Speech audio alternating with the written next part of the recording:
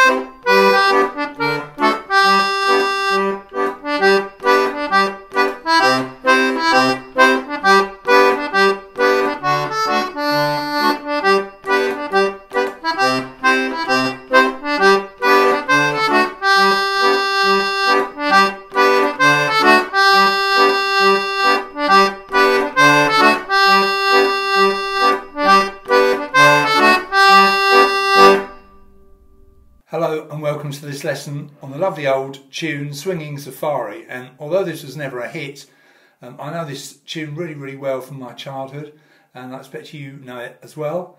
And uh, it's good fun to play, it's very interesting to learn, so let's make a start. Let's have a word or two about the timing. Now it's 2 2, which is called cut common time, uh, or half time, or playing in twos.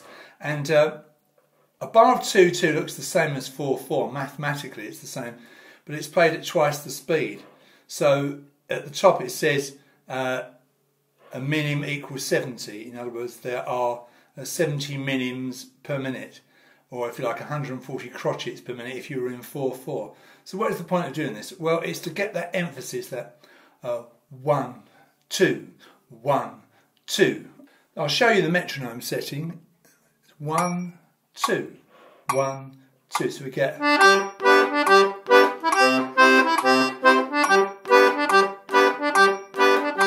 So we get a nice quick tempo but we don't get a, a piece of music flooded with semiquavers and tricky things to read.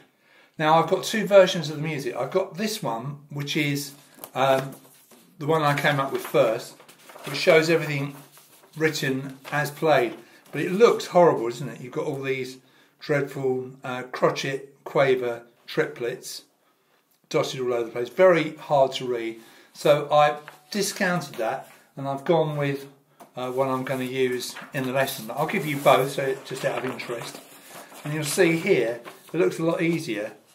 And it just says at the top here, uh, two quavers equals crotchet quaver triplet. So if I play this music as written, it would sound like this.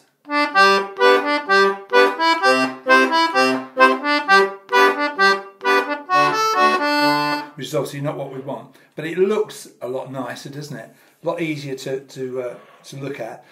And all you've got to do is remember that every time you see two quavers, uh, you count it, you feel it as a crotchet quaver triplet. But I mean, I'm guessing you're going to know this tune anyway, so you probably won't even have to worry about that. So it's just how we actually get the timing down on paper. So it's pretty sprightly, and we're in the key of G major, so all the uh, notes on the G row have the normal heads and any notes on the D row will have the diamond heads. Like I say, 2-2 which is cut common time, um, 70 minims per minute, so it's the equivalent of 140 uh, crotchets per minute, like I say, and uh, the first bar you come in on the very final quaver of the bar. So you've got uh, one, two, and then you come in with that D at the end there. Um, so technically it's a pick-up bar, but I've had to write it out in full so that you can see all the rests there. So you've got a minim rest, uh, then a crotchet rest, and a quaver rest. So you're going to go one, two, and into the, the proper tune. So the first note is simply D. On my fourth button start instrument, it's button three. On the push, it might be uh, button two if you if you've got a third button start. But you start on the push, no chord, in position minus one. Position home is where the first finger is on the root note G. Position minus one is one up from that. And there's our first note, the D. Somebody contacted me the other day uh, through my website and said they're having trouble fitting the left and the right together. I replied, learn one hand until it's automatic and then think about the other hand. And you might have to do that with this. Now, probably the left hand's easier because it's just a basic um pa um pa. The clever stuff comes in the right hand, so maybe uh, make sure the left hand is automatic and think about the right hand. And lots of slotting, lots of interlocking involved with this tune, which is really good practice, especially if you're a beginner. The first proper bar sounds like this. So that sounded a bit weird because I ended in mid-air. Let's play two bars for you.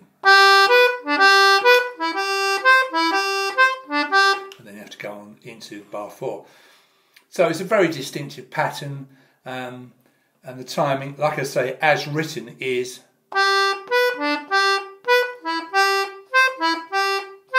but we give it that swing.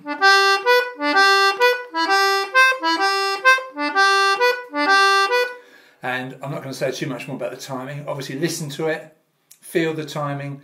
Yes, you can count it. You can look at the other version, which is written out accurately as it's as it sounds, but it's a bit hard to read.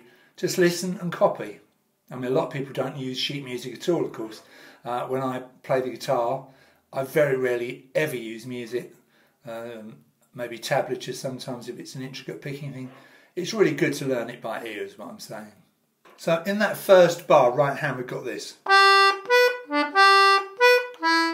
Now everything on the push part from the last note, so it's G, B, D, G, B, E.